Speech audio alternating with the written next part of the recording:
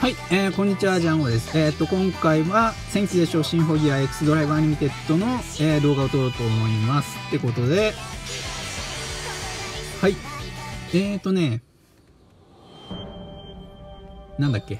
えーとね、エキシブの、えー、3話目、放送記念ということで、まあ実はまだ1話も見てなかったりするんだけど、はい、えーとね、まあ無料でガチャが引けるということで、えー、これをとりあえず引きましょう。っていう感じですね。うん。よし、じゃあ早速引きます。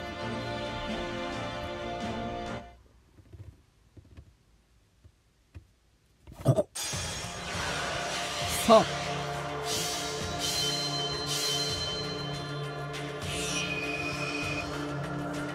うん、微妙か。はい。えーと。まあ大体この辺は星4だよね。うん。そして星5が、メモリアか。メモリアか。はい。ってことでしたと。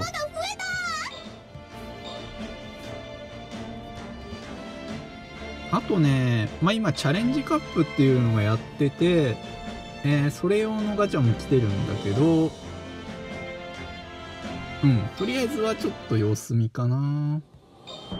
で、バトルアリーナ見ると、普段のアリーナこっちで、えー、こっちはこんな感じで、えー、まあ普段のアリーナなんですが、えー、こっち側にチャレンジカップっていうのがあって、えー、今ちょっとこっちをやってみてる感じですね。うん。で、えっ、とね、一応ね、あの、あ、まあいいか。とりあえず、どんなチームにしてるかっていうと、まあ一応地属性が、あのなんだ、特殊ルールのね、ボーナスの対象になってるので、えー、この辺のキャラを使って、えー、戦ってますという感じかな。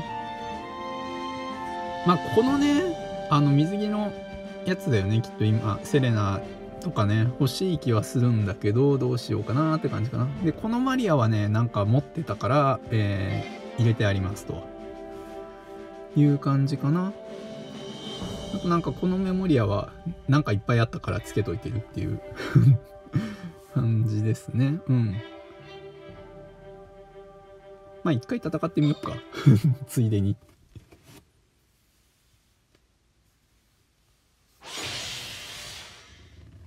これもね、なんか、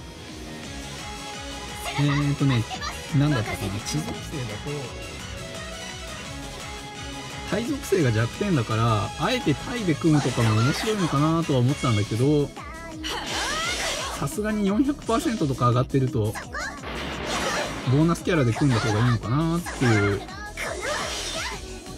感じですかね。うん。あれ？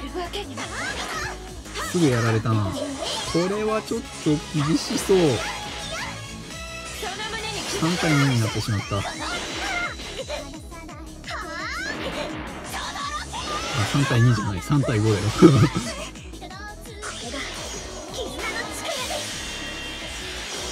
おこれは？なんか見慣れない技だね。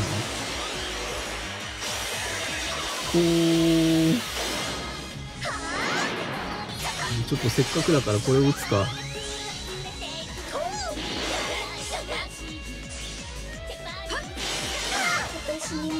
なんかその前にやられた はい。えー、まあこんな感じでね負けちゃいましたけど。まあチャレンジカップっていうのをやっていると。まあねちょっとここら辺はねもうちょっと限界突ぱ重ねていかないと勝てるようにはならないのかな。うん。でねなんだっけ？普通のアリーナの方で回復役にねあの力の調べ使ってみたらどうですか？みたいなのもあったからちょっとレベル上げてんだけどまだ50まですら到達してないっていう感じで。この技だね。一石二鳥敵3体。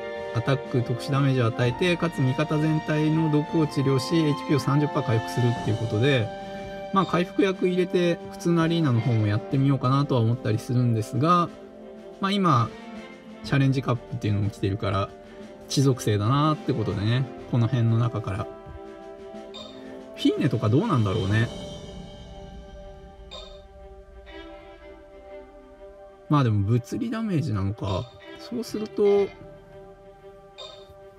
この黄金響きと、黄金響き特殊なんだよね、なんか。うん。